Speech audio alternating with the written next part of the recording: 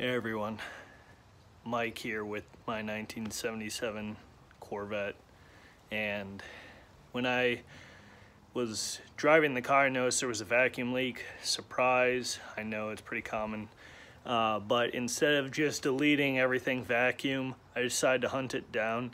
It ended up being the vapor canister, the charcoal.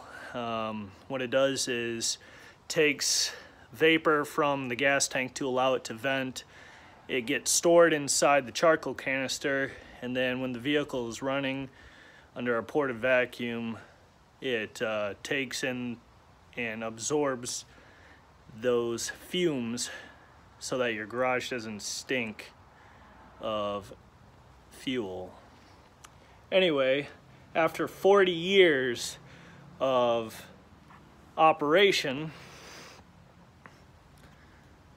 this tired original Rochester products made in the good old USA is finally out. And I've got a newer model made by AC Delco that's going to go back in. Anyway, that's where my vacuum leak was.